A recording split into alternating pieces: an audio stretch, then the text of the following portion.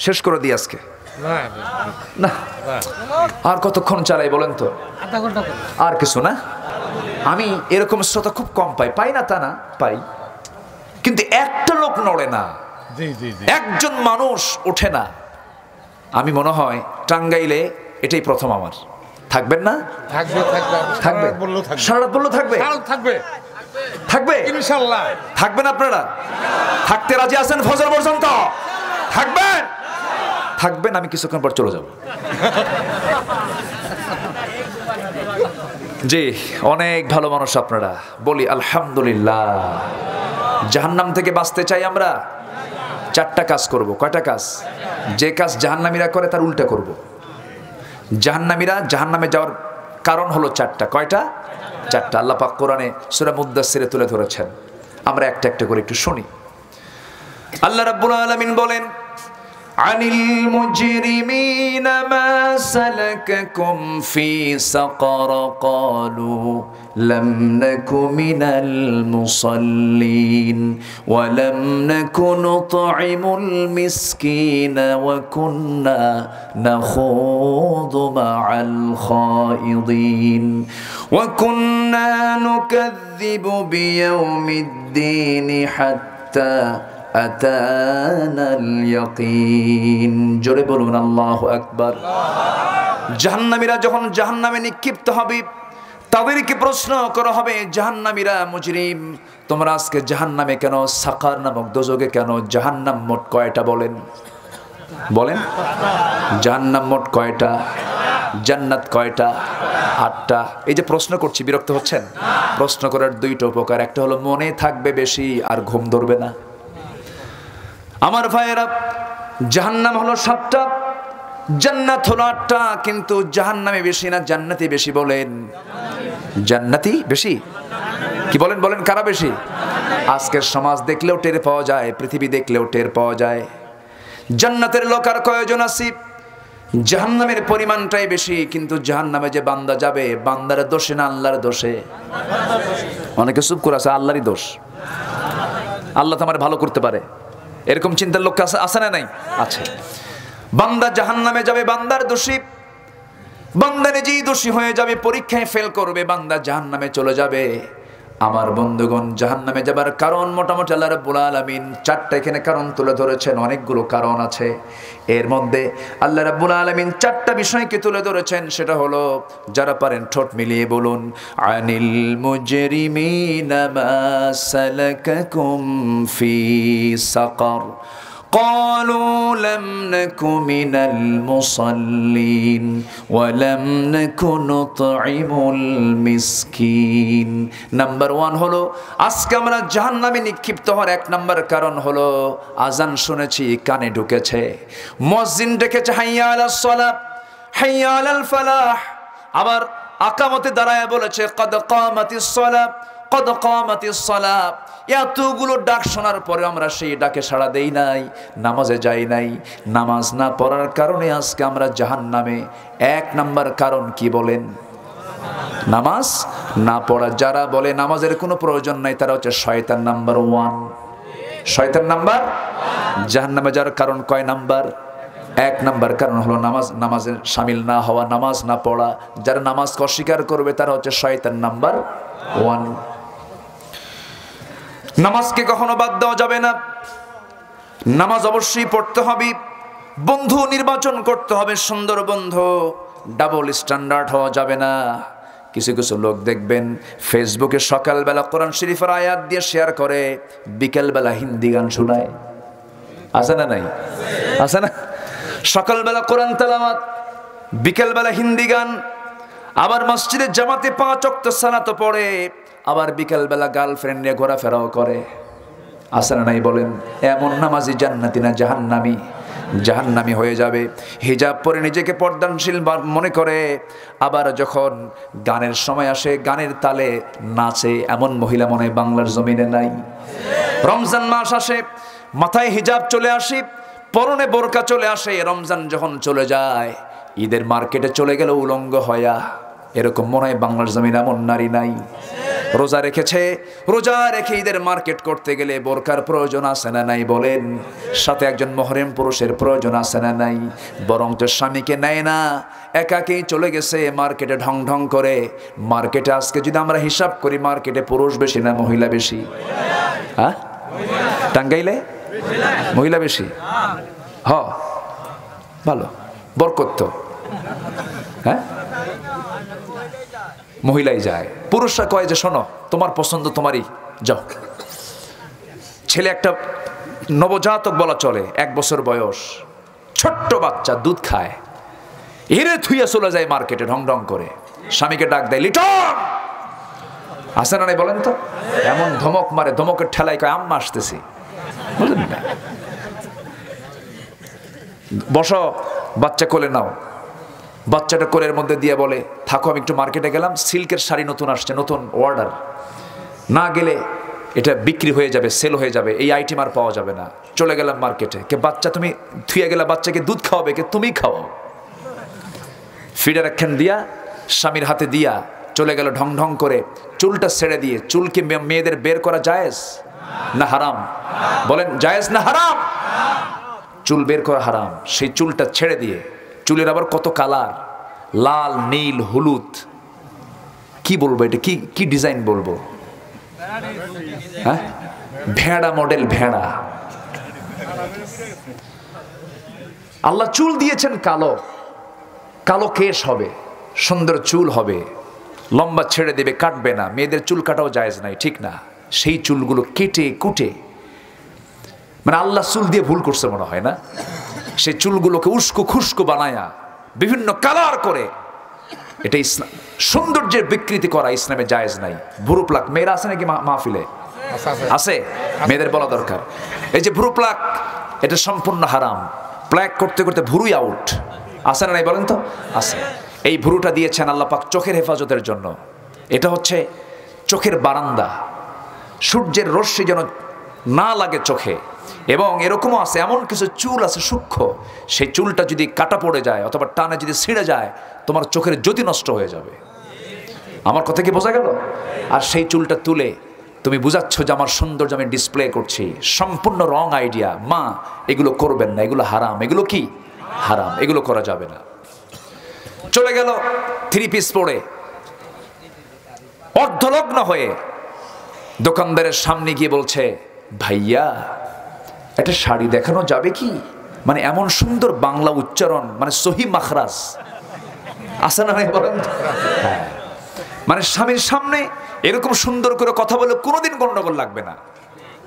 কোনোদিন গন্ডগোল লাগবে না এত সুন্দর করে কথা বললে। স্বামীর সামনে ঝাঁকি মেরে কথা কয়, সংসার তোমার সঙ্গে করতেছি, তোমার চোদ্দ গোষ্ঠীর কপাল ভালো। এরকম মহিলা মনে হয় টাঙ্গাইলে নাই। আচ্ছা। স্বামীর সামনে ঝাঁকি মেরে কথা ঠিকই বলে আবার চেহারা যদি একটু ভালো হয় আরে তারে তো কোনো কথাই নাই। চলে গেল ঢং ঢং করে দোকানদারের সামনে গিয়া ভাইয়া শাড়ি দেখানো যাবে কি? দোকানদারও কম না এমন সুন্দর মাখরাজ ও তো পাগলা হয়ে গেছে। শাড়ি একখান বের করে নিজের গায়ে লটকা দিয়ে বলে, আপা, এই শাড়ি কিন্তু আপনাকে দারুণ মানাবে। ওটা আরেক বদমাইশ। আছে না নাই বলেন তো? তাহলে এটা কি ব্যবসা হলো না জেনা হলো? বলেন, ব্যবসা হলো না জেনা হলো? জেনা হয়ে গেল। এটা করা যাবে না, মা। দোকানদার ভাইয়ের, এগুলো করা যাবে না। আপনার হারাম হয়ে গেল। হারাম হয়ে গেল আপনার জন্য। এগুলো খেয়াল করতে হবে। মা, স্বামী আপনার একটু কালো হয়েছে। গালমন্দ করবেন না। আপনার স্বামীটা কালো বানিয়েছেন কোন কারিগর? আসতে বলুন, কে? আপনার স্বামীকে আপনি কালো বলছেন আপনি কারিগরকে দোষ দিচ্ছেন। আল্লাহকে আপনি দোষ দিচ্ছেন। বউটা একটু কালো হয়েছে আপনার। বউটা কালো দেখে মাঝে মাঝে খোটা মারেন আমার কপাল ভালো না রে। রিপনের বউ কত সুন্দর আমার বউটা কি নসিবে আসছে রে? এরকম কিছু পোড়া কপাল যুবক আছে না নাই? আসতে বলবেন না আছে না নাই?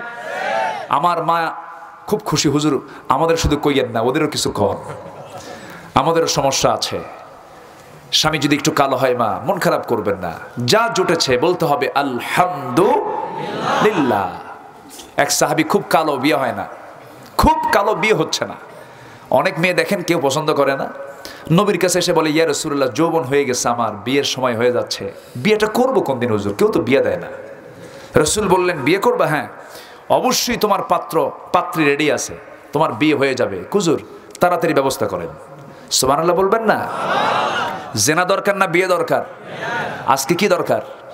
আজকে কি করে? এই জন্য বিয়ের দরকার নাই। কি বিয়ে ছাড়াই তো চলে? জোরে কর নাউজুবিল্লাহ। কুত্তার শুয়ার হতে কুকুর আর শুকুর থাকতে চায়। এরকম কিছু যুবক আছে না নাই? কুকুর শুকুরের কোনো বিয়ে আছে? কিন্তু মানুষের বিয়ের দরকার আছে না নাই? বিয়ে যে সমাজে থাকবে না, সেই সমাজে কি বলে এইচ আইভি আসবে গনোরিয়া আসবে সিভিলিস আসবে, নানা রোগ তৈরি হবে। জেনা যে সমাজে বেড়ে যাবে, সেই সমাজে সকল রোগ তৈরি করে দিবেন কে? আল্লাহ তাআলা।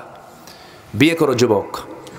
কালো সাহাবি এসে বলছে, ইয়া রাসূল আল্লাহ হ্যাঁ হ্যাঁ? ওই যে দেখেন একজন কয় বাপ মাই দেয় না। কইছে একজন? একজন কইছে বাপ মাই দেয় না। এটাও তো দোষ। বাপ মারও দোষ। আছে না নাই বলেন তো? আছে না নাই? অনেক শিক্ষিত পরিবার, প্রচুর সম্পত্তির মালিক, টাকা পয়সার অভাব নাই। ছেলেকে বিয়ে দেয় না। বলে, না, ছেলে আগে প্রতিষ্ঠিত হোক। বিয়ে কইরে প্রতিষ্ঠিত হবে, ঠিক কিনা? যৌবন ঠিক রাখতে হবে তো। সম্মানিত ভাইয়েরা, রসুল বললেন, বিয়ে করবা? কুজুর তাড়াতাড়ি। কে, ঠিক আছে, রেডি হও রেডি হও। যাও। ওই মদিনার একটা সুন্দরী মেয়ে আছে। তুমি ওই সুন্দরী মেয়ের বাপকে গিয়ে বলো বিয়ের ব্যবস্থা হয়ে যাবে। কুজুর আমি আর বলতে পারব না। আপনি একটা আইন করে দেন মানে জাস্ট আপনি লিখিত করে দেন। সুন্দর করে একটা চিঠি প্রস্তুত করা হলো। আমার আসলে সুন্দর করে চিঠি প্রস্তুত করে বললেন, যাও। সাদ আল আসওয়াদ সুলাইমি ওই সাহাবির নাম। চিঠিখানা নিয়ে উনি চলে গেলেন ইবনু ওহাবের বাড়িতে, মদিনার সবচেয়ে সুন্দরী নারীর বাবা। নিয়ে বলতেছে, এই ইবনু ওহাব এই যে চিঠি পড়ো, তাড়াতাড়ি ব্যবস্থা করো। সুবহানাল্লাহ বলবেন না? চিঠির দাম আছে না নাই? চিঠি লিখেছেন মোহাম্মদ সাল্লাল্লাহু তার পক্ষ থেকে চিঠি এসেছে। রেসালাতুন আজিমা সম্মানজনক চিঠি। চিঠিটা পড়েই ইবনু হাব আশ্চর্য হয়ে গেলেন। মনে মনে চিন্তা করছেন হারে রসুল শুধু রসুল না, রসুল তো আমার মেয়েটা মেয়েটা নিয়েও ভাবেন। তিনি সামাজিক একজন ব্যক্তিত্ব সম্পন্ন মানুষ। ঘটকের দরকার আছে না নাই? নান্টু ঘটক। হ্যাঁ? মিথ্যুক ঘটক ঘটকালির তো প্রয়োজন আছে, আমার রসুল ঘটকও ছিলেন। মিথ্যা কথা বলে কখনো এগুলো চাপানো যাবে না। ছেলে তো বিয়ের বিয়ের জন্য এক পায়ে খাড়া মানে ঠ্যাং নাই। আছে না এরকম, আছে না? মিথ্যা কথাগুলো বলে বলে অনেক কিছু মিথ্যাচার করে বিয়ের ব্যবস্থা করা হয়, এটা করা উচিত না, সব ওপেন করে দেওয়া উচিত। আমার নবজির চিঠি পাওয়া মাত্রই সাহাবি দারুণ খুশি হয়ে বললেন, ও সাহাবি আমার কোনো আপত্তি না আমি মেয়ের বাপ রাজি আছি। কিন্তু আমার মেয়ে যদি পছন্দ না করে, আমার কিছু করার থাকবে না। মেয়েদের ক্ষেত্রে স্বাধীনতা আছে না নাই? আচ্ছা বাপ জোর করে বিয়ে দিতে পারবে? না, আবার মেয়ে একাও বিয়ে কোথাও বসতে পারবে? না এই ক্ষেত্রে সবার পরামর্শের প্রয়োজন আছে না নাই? ইজাব কবরের দরকার আছে না নাই? অলির দরকার আছে না নাই? আছে এই থামেন বয়ফ্রেন্ডের পর- পরে বলতেছি। আমার ভাইয়েরা আমার বন্ধুগণ, আমার রসুল যখন এই কথা বলে দিলেন, সাহাবি চিঠিখানা পেয়ে দারুণ আশ্চর্য হয়ে রাজি হয়ে গেলেন, কিন্তু বললেন, আমার মেয়েটাকে আগে বলি দেখি, আমার মেয়েটা কি বলে? মেয়ের কাছে গিয়ে যখন বলতেছেন, মা, নবীজি প্রস্তাব দিয়েছেন, কিন্তু মেয়ে, ছেলেটা কালো, মেয়েটা কান্দে। কাঁদতে কাঁদতে অস্থির হয়ে যাচ্ছে। বাপের বুঝ ভুল ধারণা হয়ে গেল। বাপ বলতেছে, মা, মনে হয় তোমার পছন্দ হয় নাই। আমি বিয়ে দেব না। এবার মেয়েটা বলছে, বাবা, বুঝতে ভুল করেছ। এই জাগতিক জীবনে আমারও যদি কোনো বিয়ে হয়, আমার নবীর পছন্দ করা সেই কালো ছেলেটাই আমার একমাত্র স্বামী হবে। যেরকম সুবহান আল্লাহ তাদের কাছে চেহারা আগে না তাকোয়া আগে? তাকোয়াটা আগে ছিল। এখন কি আগে বলেন? এখন টাকা। যাক, আরেকটা জিনিস প্লাস হয়েছে আমার ভাইয়েরা আচ্ছা এগুলো কথা কি বলার দরকার আছে না? আচ্ছা। আমার মায়েরা একটু কান লাগান। বিয়েটা হয়ে যাবে, মেয়েটাও রাজি, ছেলেট বাপও রাজি। এবার বাপ এসে বলছে, ও ছেলে, ও সাদ আলা সদ সুলাইমি, আমার মেয়েটা রাজি হয়ে গেছে। আনন্দ দেখে কে? দৌড় মেরে মেরে চলে গেছেন নবীর দরবারে গিয়ে বলছেন, ইয়া রাসূলুল্লাহ সব রাজি হয়ে গেছে। কে মেয়ে রাজি, মেয়ের বাপ রাজি, আমিও রাজি। তাড়াতাড়ি বিয়ে দিয়ে দেন। রসুল বললেন, বিয়েতে দেব, কিন্তু টাকা ছাড়া তো বিয়ে করা যাবে না। টাকা লাগবে মেয়ে পক্ষের না ছেলে পক্ষের? কিন্তু আজকের সমাজে লাগে ছেলে পক্ষের না মেয়ে পক্ষের?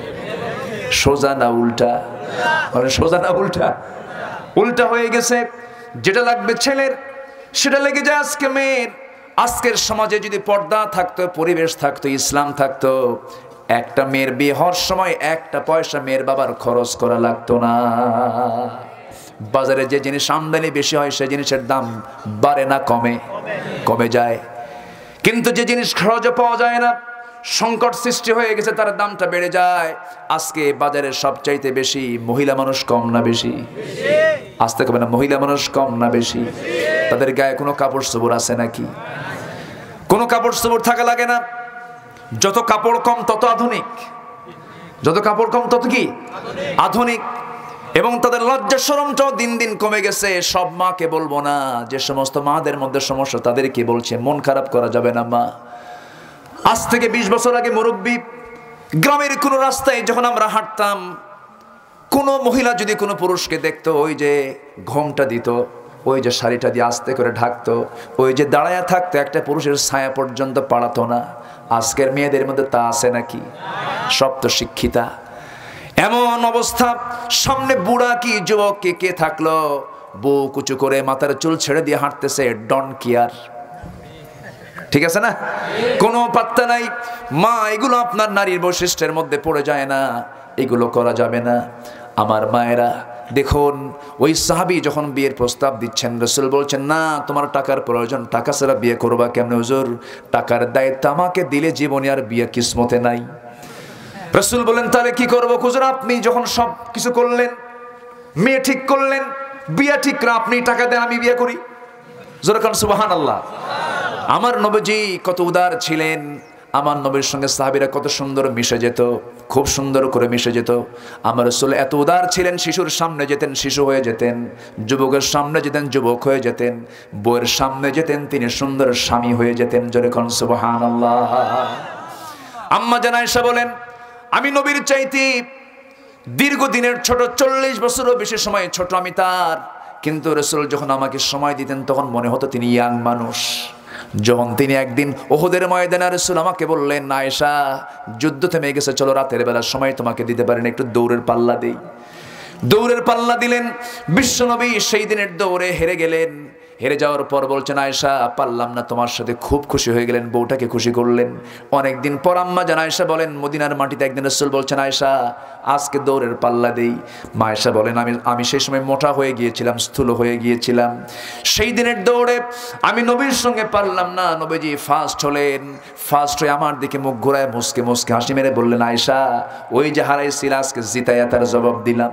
যেরকম সুবহান আল্লাহ সেই প্রেম হবে অন্যের বউর সাথে না নিজের বউয়ের সাথে? নিজের বউয়ের সাথে প্রেমটা করতে হবে। মোহাম্মত বাড়াতে হবে। নবীজি ঘরের মধ্যে আসলে স্বামী, ছেলেদের সামনে আসলে পরে শিশু হয়ে যেতেন, নানার সামনে, নাতির সামনে গেলে পরে নানা হয়ে যেতেন। হোসেনের নাম কে না জানেন? হোসেন নাদি আল্লাহ তালু যখন দুনিয়া থেকে বিদায় নেবেন, নির্মম পাশবিকভাবে তাকে দুনিয়া থেকে বিদায় করা হয়েছে। সেই হোসেন যখন সাত আট বছরের বাচ্চা রসুল তার সঙ্গে এত সুন্দর সময় দিয়েছেন, রসুল বলছেন, তোমরা যদি জান্নাতের যুবকদের সর্দার দেখতে চাও, আমার দুইটা নাতির দিকে তাকাও সৈয়দের সাবাবি হালিল জান্না হাসান ওল হুসাইন রাদি আনহুমা। যেরকম সুবাহান আল্লাহ নবীজির রক্ত মাঝে মাঝে রসুলকে হারায়া দিতেন। হোসাইন খুবই মানে প্রত্যুৎপন্ন মতিত্বের, উপস্থিত বুদ্ধির একদম সেরা ছিলেন হোসাইন নদী আল্লাহ তাকে কেউ ঠকাতে পারতো না। আল্লাহ একবার বলেন। একদিন কোন এক সকালবেলা মসজিদে নবীতে দরজায় দাঁড়ানো এক সাহাবি হোসাইন ভিতরে ঢুকবেন। হঠাৎ করে ওই সাহাবি বলতেছে, হোসাইন, তুমি কোথায় যাবে? কে নানার সঙ্গে দেখা করতে যাব। না, এখন পাশ নাই। এখন যেতে দেওয়া যাবে না। কেন? রসুল এখন গুরুত্বপূর্ণ বক্তব্য দিচ্ছেন। চোখ এরকম রাঙ্গায় বলতে চাই চাচা, নবীজির সাহাবি, আমাকে যেতে বাধা দাও। আমি কে? তুমি চেনো আমাকে? আমার পরিচয়টা কি আমাকে তুমি চেনো? সাহাবি তো থমকে দাঁড়াইছে কি, আল্লাহ, কি যে কয়? বলতেছে, তোমরা যে নবীর কথা বসে বসে শোনো, সেই নবীর চাইতে আমি হোসাইন অনেক বড়। হাজার গুণে বড়। টাইম দে, টাইম নাই, ছেড়ে দে তাড়াতাড়ি। দরজা খুলে দিছে। ভিতরে ঢুকে গেছেন। ভিতরে ঢুকে নবীর পাশ থেকে আস্তে করে মাথা নিচু করে মন মড় হয়ে দাঁড়ায় আছেন। আমার নবীজির বক্তব্য বন্ধ হয়ে গেছে। হোসাইনের মুখ বন্ধ হোসাইনের মুখ খারাপ, হোসাইনের মুখটা মরা, নবীর আলোচনা বন্ধ হয়ে গেছে। রসুল বলছে না না তোমার মুখ মরা কেন? মুখে হাসি নাই কেন? বলছে না না আমার কি কোনো দাম নাই, ইজ্জত নাই? সুবহানাল্লাহ বলবেন না। আমাকে কি বেইজ্জত করা মানায়? আমার দাম কি কিছুই নাই? কে না না তোমার কে কি কইছে, তাড়াতাড়ি কও। বিচার করে দিচ্ছি, কে না না বিচার করতে হবে না? আমি তোমাকে একটা কথা বলতে চাই কি? আমি তোমার চেয়ে ছোট না বড়? রসুল বললেন, তুমি আমার চাইতে বয়সও ছোট। তুমি আমার নাতি, আমি তোমার নানা। আমি আল্লাহ রসুল। আমি তো তোমার বড়ই হবে। এটাই স্বাভাবিক। না না না, এটা বুঝতে ভুল আপনার। আমি বড়। সুবহানাল্লাহ বলবেন না? সাহাবিরা পিন পতন নীরব হয়ে এই দৃশ্যগুলো অবলোকন করছে। বিশ্বনবী কাকে বলে? বিশ্বমানের চরিত্র যার, বিশ্বনবী তার নাম। আল্লাহ একবার বলো। রসুল বলছেন না না ঠিক আছে তাহলে তুমি আমার চেয়ে কেমনে বড়? আমাকে একটু বোঝাও। রসুলকে ধমক দিলেন? আস্তে, রসুলকে ধমক দিলেন? রসুলকে তাকে শাসন করলেন কিছু? কিচ্ছু বললেন? শাসালেন? না। আচ্ছা ঠিক আছে না না তুমি কেমন করে বড়? আমাকে একটু বোঝাও তো। না না বুঝাবো। শর্ত আছে কি? যত সাহাবি তোমার আছে, সব সাহাবিকে আজকে আমার সামনে ডাকো। ওদের একটু বুঝাই দিই।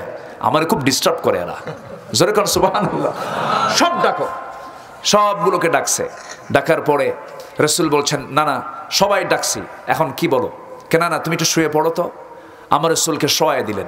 শোয়া দিয়ে চট করে লাভ মেরে নবীজির বুকের উপরে গিয়ে বসলেন হোসেন রাদি আল্লাহ তালানহ গিয়ে বসে বলছেন, না না, তোমাকে আজকে শুধু বেশি প্রশ্ন করে বিব্রত করতে চাই না।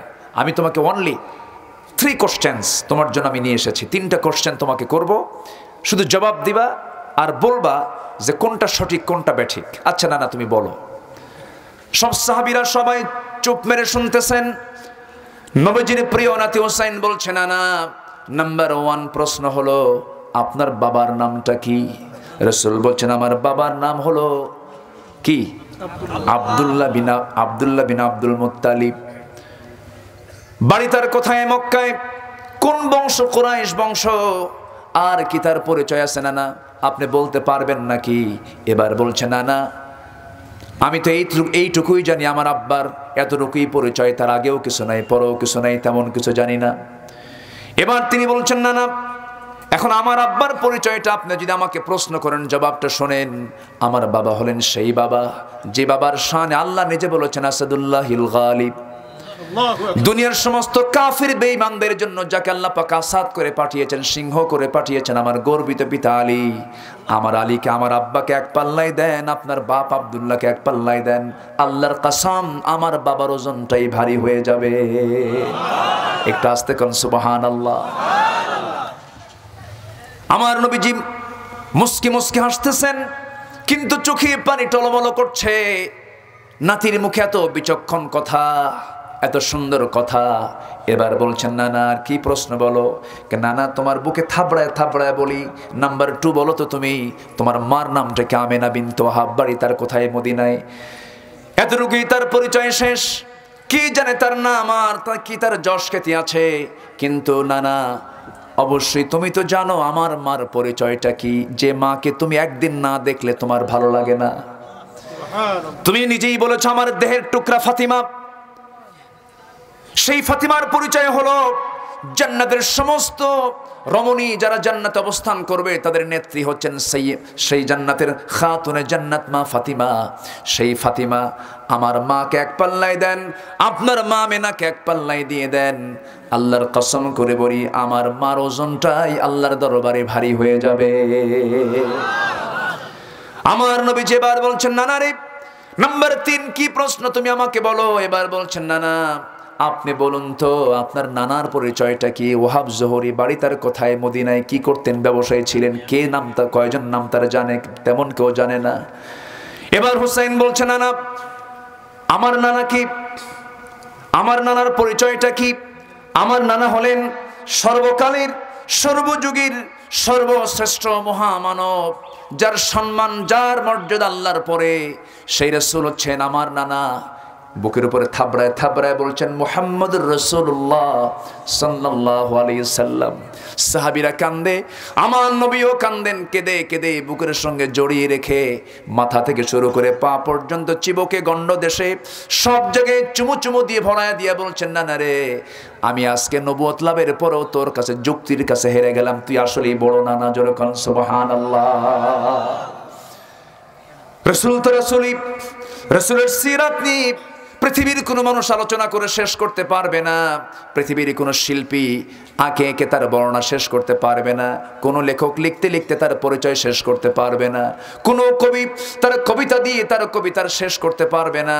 তিনি হচ্ছেন আমার নবী মোহাম্মদ সাল্লাল্লাহু আলাইহি ওয়াসাল্লাম। আমার নবীজি কি করলেন? আমার নবীজি বলছেন, ও সাদ সুলাইমি, চিন্তা করো না তোমার বিয়ের বন্দোবস্ত যখন আমি করব, টাকাটা আমি দেব। এবার বলছেন, ওসমান এই দিকে আসো। ওসমান ধনী মানুষ না গরিব মানুষ? আমরা ধনীকে গালি দেব না কখনো। অনেকে আছেন গরিব হয়া, গরিব মানুষ ধনীকে দেখলে সহ্য হয় না। ধনীকে আপনি গালি দিবেন, ওসমানকে গালি দিতে হবে। ধনীকে আপনি গালি দিবেন, সুলাইমানকে গালি দিতে হবে। সুলাইমান আলাইসালাম এত বড় ধনী ছিলেন, রানী বিলকিস যখন তার দরবারে উপঢৌকন স্বরূপ ছয়টা স্বর্ণের ইট নিয়ে সে যখন রাষ্ট্রদূত কর্তৃক যখন আল্লাহর পয়গম্বর সাল্লাহ সাল্লাতামকে যখন উপহার দেওয়ার জন্য নিয়ে আসতেছিল, এমন সময় ছয়টা ইট নিয়ে রাষ্ট্রদূত যখন দরবারের মধ্যে ঢুকতে নাই, সেই সময় দেখো এরকম একটা ইট নয়, লক্ষ লক্ষ ইট সুলাইমানের রাজ দরবারের মাটিতে ফেলে দেওয়া। যেরকম আল্লাহ ধনীকে ধনী বলে গালি দেওয়া যাবে না। ধনীর দামও ইসলামে আছে। গরিবের দাম ইসলামে আছে, তবে গরিব বেশি আগে জান্নাতে চলে যাবে। গরিবের দাম, ধনির দামও আছে না নাই? ধনির দামটাও আছে। ধনী না হলে আপনি আপনার সম্পদ ব্যয় করবেন কেমনে? ওসমানের সম্পদ দিয়া, খাদিজা রাদিয়াল্লাহুর সম্পদ দিয়া, আবু বকরের সম্পদ দিয়ে ইসলামের কাজ করেছেন মোহাম্মদ সাল্লাল্লাহু আলাইহি ওয়াসাল্লাম, ধনীদের দরকার আছে না নাই? মাহফিল, এই মাদ্রাসা চলার জন্য ধনীর দরকার আছে না নাই? আছে, ধনীদেরকে আমরা গালি দেব না। অনেকে ধনীদেরকে এক চেটিয়ে গেলে দেয়। ও ও তো হবে ওর। ও কি ও কি ভালো করে করছে নাকি? মানে হিংসার ঠেলায় ধনী গালি খায় শেষ হয়ে যায়। ধনীর প্রয়োজন আছে না নাই? তাকে বলতে হবে, আপনার সম্পদগুলোকে আপনি কাজে লাগান। এবার ধনী প্রয়োজন হয়ে গেল। গরিব সাহাবির জন্য ধনী সাহাবি ওসমানকে ডাক দিয়ে বলছেন, ওসমান, আমাকে তুমি দুইশো দিরহাম দাও। নরমান তুমি দুইশো দিরহাম দাও। দুইশো দুইশো, চারশো দিরহাম। আমার নবজি হাতের মধ্যে নিয়ে বলছেন, সাঁত যাও, বিয়ের বাজার করে আনো। বিয়ের বাজার করতে গেলেন। বিয়ের বাজার করতে নিয়ে বাজার সম্পূর্ণ শেষ হয়ে গেছে প্রায়।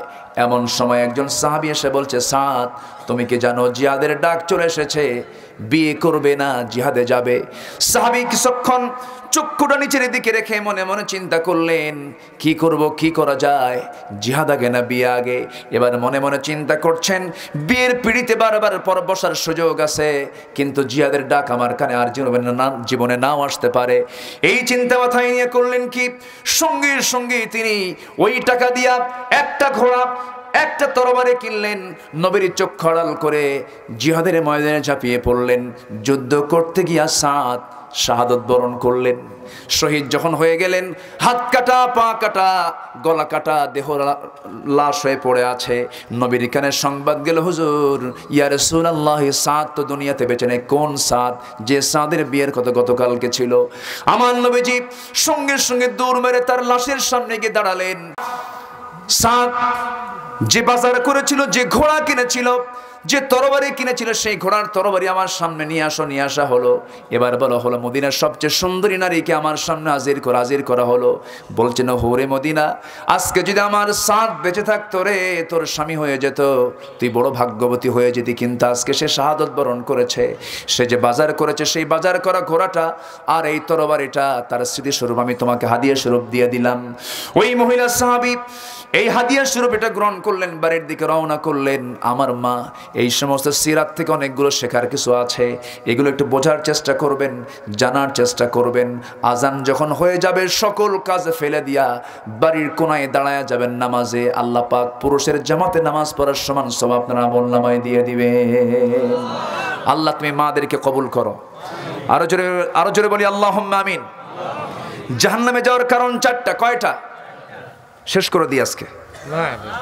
না আর কতক্ষণ চালাই বলেন তো? আর কিছু না? আর কিছু। আলোচনা চলুক? চলো চলো আলোচনা চলুক? বলেন চলুক? হুজুর মরুক? হুজুরও বাসুক হুজুরও বাচ্চার দরকার আছে। জি বলি আলহামদুলিল্লাহ। আমি এরকম শ্রোতা খুব কম পাই। পাই না তা না পাই। কিন্তু একটা লোক নড়ে না। একজন মানুষ ওঠে না। আমি মনে হয় টাঙ্গাইলে এটাই প্রথম আমার। আলহামদুলিল্লাহ বলে টাঙ্গাইলে বহু মাহফিল করি। কিছু কিছু শ্রোতা আছে হলো টাকি মাছের মতো। টাকি মাছ বোঝেন? টাকি মাছ যদি নিয়ে যদি দাড়ি পাল্লাই তোলেন মাপতে মাপতে হাফ কেজি নেই।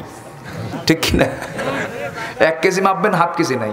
তো কিছু কিছু শ্রোতা আছে টাকি মাছের মতো। ওঠে আল বসে ওঠে বসে ওঠে বসে। কিন্তু এলাকার শ্রোতাগুলো খুব ভদ্র। বলি আলহামদুলিল্লাহ। জোরে বলি আলহামদুলিল্লাহ।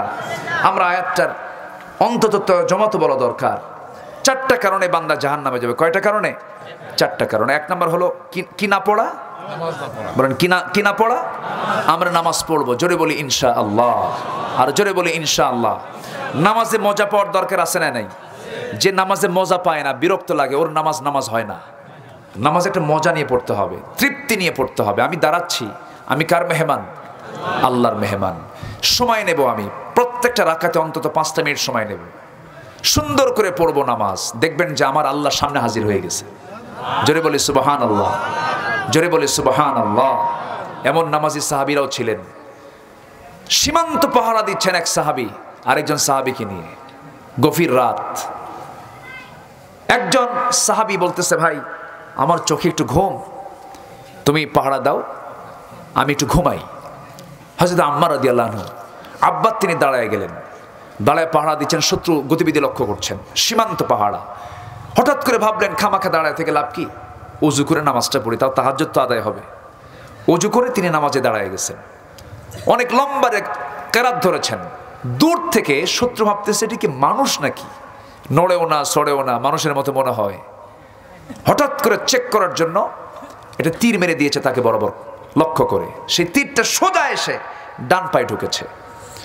ডান পায়ে ঢোকার সঙ্গে সঙ্গে নামাজের মধ্যে তিনি তেলাওয়াত করছিলেন, লক্ষ্য করলেন শত্রু তাকে আক্রমণ করে বসেছে। নামাজ তিনি ছাড়লেন না।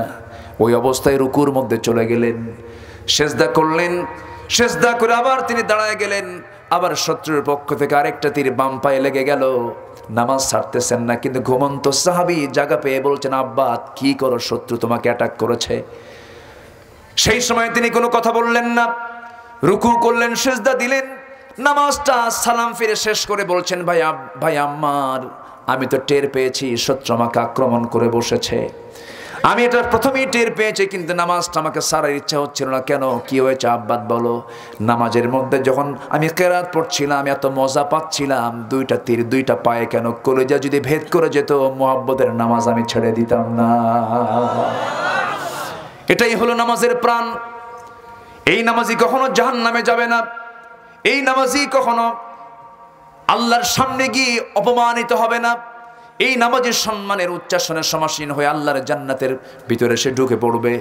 জান্নাতের যাওয়ার সময় কেয়ামতের দিন ওই কপালে নূরের চমক চমকাতে থাকবে। সেজদার জায়গাগুলো নূর চমকাতে থাকবে। হাঁটুগুলো নূর- নূর চমকাতে থাকবে। আল্লাহ বলবেন, ও বান্দা তোর আজকে নূর প্রমাণ করে দিচ্ছে, তুই নামাজে ছিলি, আজকে কোনো হিসাব নাই, তোকে আজকে আমি আল্লাহ জান্নাত দিয়ে দিলাম। সুবহান আল্লাহ কেয়ামতের দিন প্রথম প্রশ্ন হবে কি? নামাজ। জাহান নামে যাওয়ার এক নম্বর কারণ কি? নামাজ নামাজ আমরা কেউ ছেড়ে দেব? ছেড়ে দেব? ছেড়ে দেব না। বাদ দেওয়া যাবে না নামাজ। আবার নামাজি লোকের সঙ্গে সংস্পর্শ গড়ে তুলব, বন্ধুত্ব করব নামাজের সাথে, বন্ধুত্ব করব নেশামুক্ত লোকের সাথে। আপনি একজন ইয়াবাখরের সঙ্গে থাকবেন, আপনি ইয়াবাখর হয়ে যাবেন। বন্ধুত্ব নির্বাচন করতে হবে ভালোর সাথে। বেনামাজির সঙ্গে আপনি রেগুলার চলবেন। আপনার নামাজটা জামাজ ছুটে যাবে, এটা খেয়াল করার চেষ্টা করবেন। তবে হ্যাঁ বেনামাজিকে টার্গেট করতে হবে, তাকে দাওয়াতি কাজ করে নামাজের দিকে নিয়ে আসা, ঠিক কিনা? করবেন না সবাই? করবেন না? সহচর্যের একটা প্রভাব আছে। মানে সহচর্য, আপনি যার সঙ্গে থাকবেন, আপনি তার মতো হয়ে যাবেন। হয়তো স্ত্রীর পাশে আপনি এক মিনিট বসে আছেন, বুঝতে পারবেন জীবনটা বড় কঠিন। এরকম মনে হয় না? বড় কঠিন কোনো গানের সম্বন্ধে মনে হয়। মাতালের কাছে দশ মিনিট বসে থাকবেন, তখন বুঝতে পারবেন জীবনটা খুব সহজ। মাতাল তো, দেখেন না মানে সব দুনিয়ার সব কিছুর কাছে সোজা। আছে না এরকম আছে না? আছে। কিন্তু বইয়ের কাছে বসবেন আপনি জীবনটা বাস্তবতা বড় কঠিন বাজার একটা সংসার অনেক কঠিন। আচ্ছা সাধুদের সাথে আপনি তিন মিনিট বসবেন তখন দেখবেন যে সব কিছু দান করে অবসর নিতে ইচ্ছা করবে। সাধু তো সব কিছু মনে দিয়ে দিই। আছে না এরকম? সাধুটা তো আছে না কিছু? আছে। আচ্ছা রাজনীতিবিদ যারা প্রচলিত ট্র্যাডিশনাল যারা রাজনীতিবিদ যারা পলিটিশিয়ান যারা তাদের সঙ্গে চার মিনিট বসবেন বুঝবেন যে আপনার পড়াশোনা সব বেকার। পড়াশোনা করে লাভকে দরকার অনর্থক রাজনীতি করো আচ্ছা জীবন বীমা যারা করে, আছে না? লাইফ ইন্স্যুরেন্স করেন এরকম? লাইফ ইন্স্যুরেন্স যারা করে, এদের সঙ্গে আপনি পাঁচ মিনিট, দশ মিনিট বসবেন, দেখবেন যে বেঁচে থাকার চাইতে মরে যাওয়াই ভালো। কি কথা কি বুঝতেছেন? আপনি যদি পাঁচ লাখ টাকার ইন্স্যুরেন্স করেন, তাহলে এক কোটি টাকা পাবেন, আপনি যদি মরে যান। মরে যাই যদি পাই, তাহলে আমি তো পাইলাম না। কি কথা কি বোঝা গেল নাকি? তারপরে একজন ব্যবসায়ীর সঙ্গে যদি আপনি মোটামুটি পাঁচ ছয় মিনিট বসেন তাহলে বুঝতে পারবেন যে আপনি যে চাকরি করেন এটা কোনো কামাই না। ঠিক আছে না? তখন মনে হয় আমি অস্তিত্বহীন একজন মানুষ এরকম মনে হয়। একজন বিজ্ঞানীর সাথে বসবেন তখন দেখবেন যে যত অজ্ঞতা যত অযোগ্যতা আপনার মধ্যে ফুটে উঠতেছে এতে সব জ্ঞান রাখে।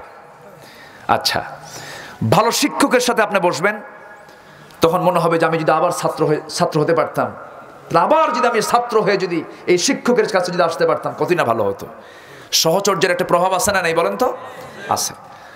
কৃষকের সঙ্গে যদি আপনি কিছু সময় কাটান, তখন আপনার কাছে আপনি যে পরিশ্রম করেন, ওই পরিশ্রম কোনো পরিশ্রমই মনে হবে না।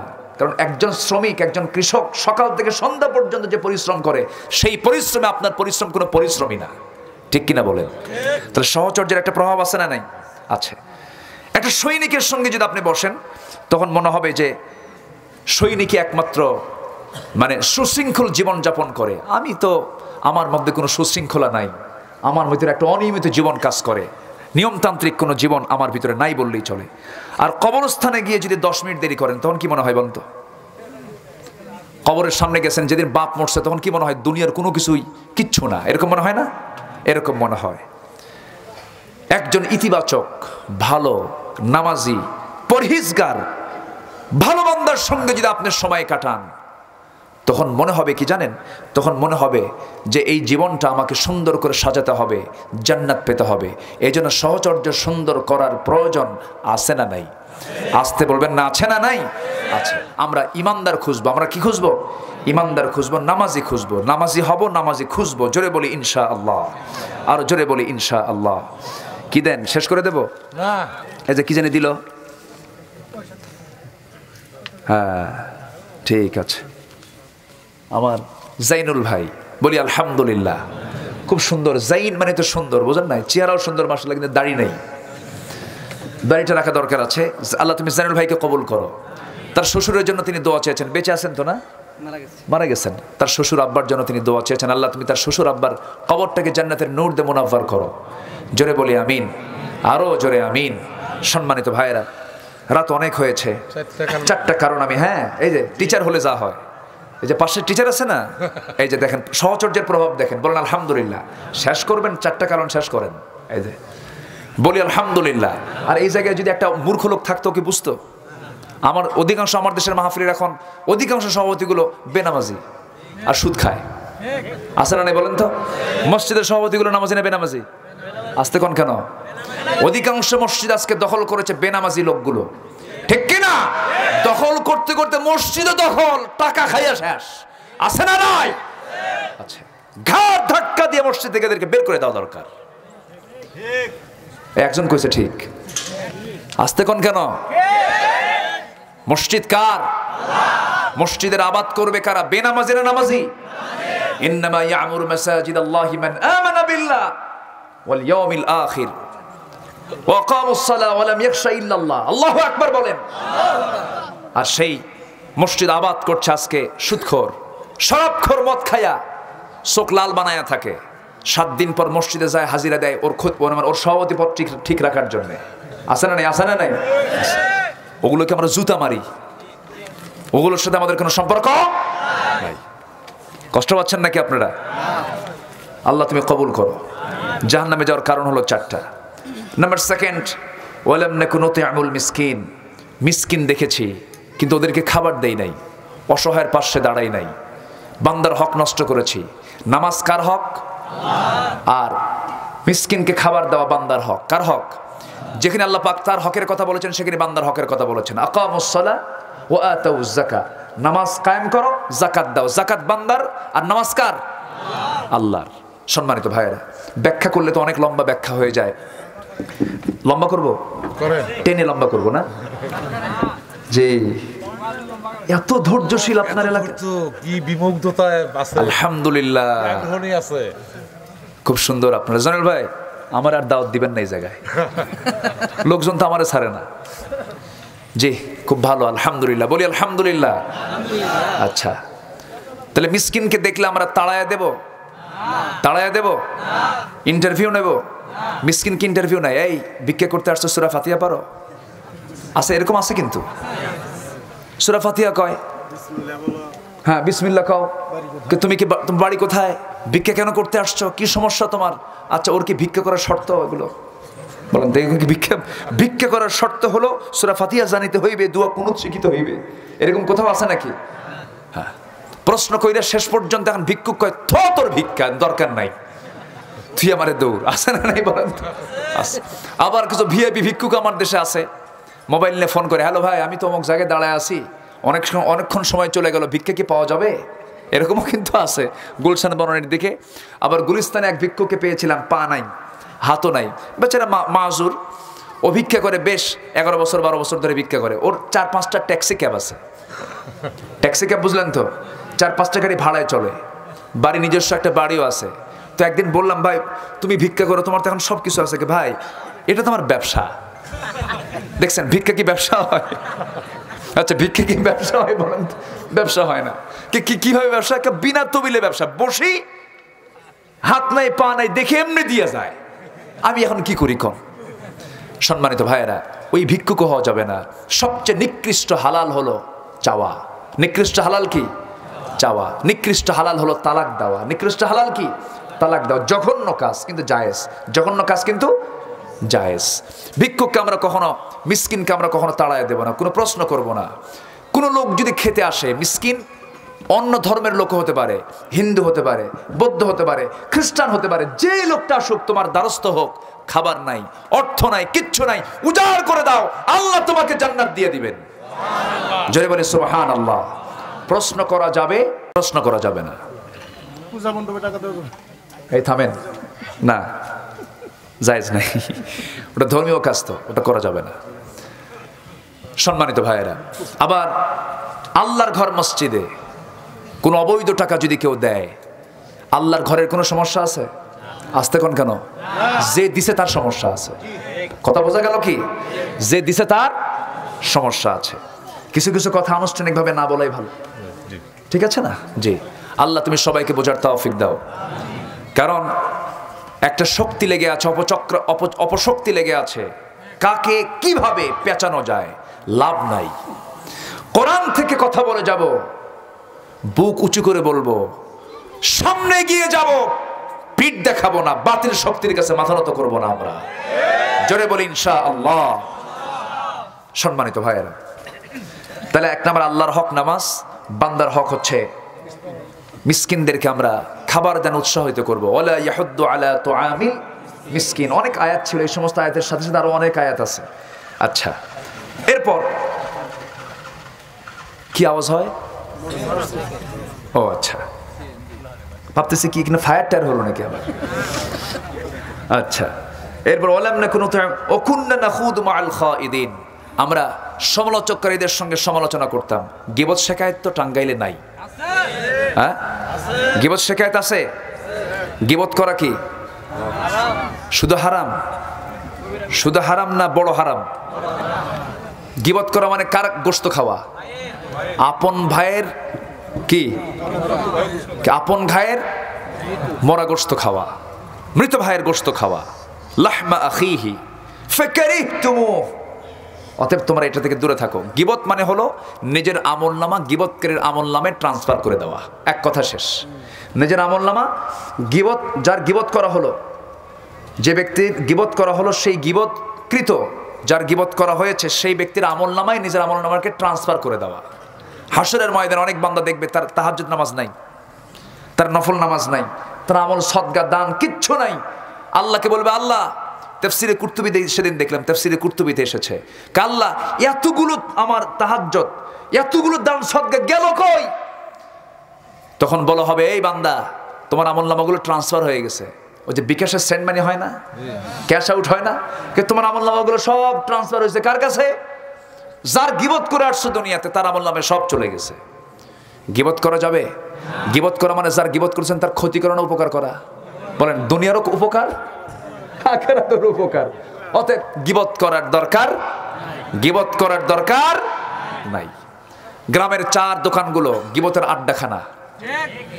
এই মোড়ে মোড়ে রাস্তার চতুর্কোণ, তারপর ত্রিমোহনী, চতুর্মোহনী বিভিন্ন জায়গায় আছে না, দোকানগুলো, স্টলগুলো আছে, বসে বসে খেলে জানো, অমুকের মেয়েটা কি করছে? তুমি কি জানো? এরকম আছে না নাই বলেন তো? আছে। সব গুণাগুলো আপনার আমল নামে চলে আসতেছে। না, অন্যের দোষ না নিজের দোষ? নিজের দোষ খুঁজবো, অন্যের গুণ খুঁজবো, আমি জান্নাত পেয়ে যাব। জোরে বলে সুবাহান আল্লাহ নিজের দোষ খোঁজো, অন্যের কি খোঁজো? গুণ খোঁজো। অন্যের গুণটা খোঁজো। নিজের দোষটা খুঁজে খুঁজে বীর করো। সারাদিন আমি কয়টা মিথ্যা কথা বললাম? আমি সারাদিন কয়জন লোকের সঙ্গে খারাপ আচরণ করলাম? সারাদিন আমি কয়টা বাজে কথা বললাম? সারাদিন আমি কোনো হারাম কোনো খাবার খেয়েছি নাকি? সারাদিন কোনো মিথ্যা কথা বলেছি নাকি? সারাদিন কোনো বাজে কোনো কাজ করেছি নাকি? সময়টা নষ্ট করেছি নাকি এমন করে? দিন শেষে, বেলা শেষে হিসাব যে কষবে, আল্লাহ তাকে অবশ্যই জান্নাত দিয়ে দিবেন। কিন্তু যে বান্দা এই সমস্ত কাজের পিছনে চিন্তাশীল হবে না, তার জন্য জাহান্নাম নাম্বার ওয়ান হলো নামাজটা আমরা পড়ব। জাহান্নামি নামাজ পড়বে না। আমরা বান্দার হক নষ্ট করব না জাহান- জাহান্নামীরা বান্দার হক নষ্ট করবে। মিসকিনকে আমরা খাবার দেব, অসহায়ের পাশে আমরা দাঁড়াবো, পীড়িতের পাশে আমরা দাঁড়াবো, অসুস্থ লোককে দেখব দুনিয়াতে, আল্লাহ কেমতের দিন হাসিনের ময়দান আল্লাহ আমাকে দেখে জান্নাত দিয়ে দিবেন। আমার ভাইয়েরা, আমার বন্ধুগণ নাম্বার চার হলো, অকুন্না নুকাদ্দিব বিয়মিদ্দিন আমরা বিচার দিবসকে অস্বীকার করেছি। বিচার দিবস আছে না নাই?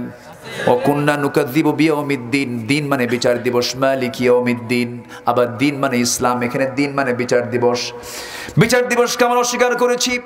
নবীরা নবীরা দাওয়াত দিয়েছেন সাহাবেকের আমরা দাওয়াত দিয়েছেন। আলে মোলামারা বিচার দিবসের নিয়ে কথা বলে, আর নাস্তিকরা মুসকি মুসকি হাসি ভাসে এসে বলে, হুজুররা ক- বাকির কথা বলে? নগদ জাপাও হাত পেতে নাও, বাকির খাতায় শূন্য থাক। দূরের বাদ্য কিলাপ শুনে, মাঝখানে যে বেজায় ফাঁক, জোরে কর নাউজুবিল্লাহ। এরকম এরকম বাজে কথা বলার মতো লোক কিছু কিছু আছে না নাই? কত দূর সেই আখেরাত কবর, কত দূর হুজুররা কি ওয়াজ করে? কিছুই বুঝি না। এরকম করে যারা মিথ্যাচার করেছে, বিচার দিবসকে যারা মিথ্যায় পরিণত করেছে, তারা জাহান্নামের মধ্যে নিক্ষিপ্ত হবে। আমার বন্ধুগণ, আমাদের আবার আমাদেরকে জীবিত করবেন কে? আসতে বলবেন না কে? আমরা একসময় অনস্তিত্ব ছিলাম, অস্তিত্ব দিয়েছেন কে? আবার এই অস্তিত্ব থেকে আবার মৃত্যুদান করবেন কে? আবার জিন্দা করবেন কে? কে করবেন? অকুন্তুম আমওয়াতান ফাহইয়াকুম সুম্মা ইউমিতুকুম সুম্মা ইউহয়িকুম সুম্মা ইলাইহি তুরজাউন। আল্লাহু আকবার বলেন। আচ্ছা যিনি প্রথম বানাতে পারেন, তার দ্বিতীয়বার বানান কঠিন না সহজ? এটাই তো বুঝে আসে না, মানুষ তো এটা বুঝতে চায় না। যে আল্লাহ আমাকে প্রথমবার বানাতে পারলেন, সে আল্লাহকে আমাকে দ্বিতীয়বার বানাতে, তার কষ্ট হবে না আরও সহজ? আরও সহজ। আলু, এলাকায় আলুর চাষ হয় কিনা জানি না। আলু যখন জমিতে লাগানো হয়, নতুন করে, বড় আলু হলে কাঠি লাল, না কি বলে?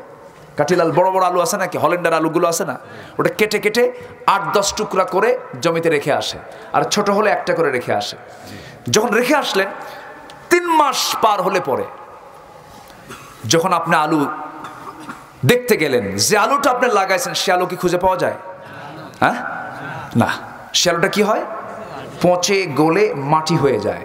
কিন্তু ওই আলু থেকে চার পাঁচ মাস পরে দেখা যায়, চারটা, পাঁচটা, আটটা, দশটা, পনেরোটা, বিশটা পর্যন্ত আলু উৎপাদন হয়ে গেছে। আমার আপনার চোখের সামনে যদি আমরা দেখতে পাই, একটা আলুকে পচায়া, গলায়া, মাটি বানায়া, সেখান থেকে যদি আট, দশটা আলু বের হয় আমার আল্লাহ আমার দেহটাকে মাটির সঙ্গে পচায়া, গলায়া। আবার কি আমাকে পয়দা করতে পারেন না? আসতে পারেন না? ওয়াকুন্না নুকাযযিবু বিয়াউমিদ্দিন আমরা দুনিয়াতে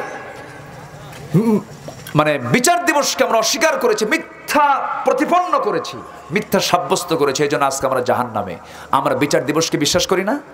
বিচার কে করবেন? কে করবেন বিচার? সেই বিচারের দিনকে যারা বিশ্বাস করবে তারা জান্নাত পাবে। যারা গিবত সমালোচনা থেকে যারা নিজেকে মুক্ত রাখবে তারা জান্নাত পাবে। যারা বান্দার হক নষ্ট করবে না তারা জান্নাত পাবে। যারা নামাজ ছেড়ে দেবে না তারা জান্নাত পাবে। আমরা চারটা কাজ করব। জোরে বলি ইনশা আল্লাহ জোরে বলি ইনশা আল্লাহ মন চাচ্ছে আরও কিছু কথা বলি। আমরা কি সর্বশ্রেষ্ঠ বান্দা হতে চাই না? আমার নবী এগারো জনকে সর্বশ্রেষ্ঠ ব্যক্তি বলেছেন। কয়জনকে? এগারো জনকে। আজকের বলার সময় পেলাম না। যতটুকুন হয়েছে আমরা বলে ফেলি, আলহামদুলিল্লাহ। জোরে বলি, আলহামদুলিল্লাহ। আমি থামিও নাই, কোথাও ব্রেকও দেই নাই, একটা না। যতটুকু পারি বলার চেষ্টা করেছি। আপনার তো এক রাত আমার তো সব রাত। সব জায়গায় যেতে হয়। আমার প্রতি আপনাদের একটু দয়া থাকতে হবে। যতটুকু হয়েছে আমরা বলে ফেলি আলহামদুলিল্লাহ। আমি জানি আপনারা আরও এক দেড় ঘণ্টা থাকবেন কিন্তু আমার পক্ষে আর সম্ভব হচ্ছে না। যতটুকুন আমি বলেছি আমরা আমল করব। ভাইরে আমল করবেন না?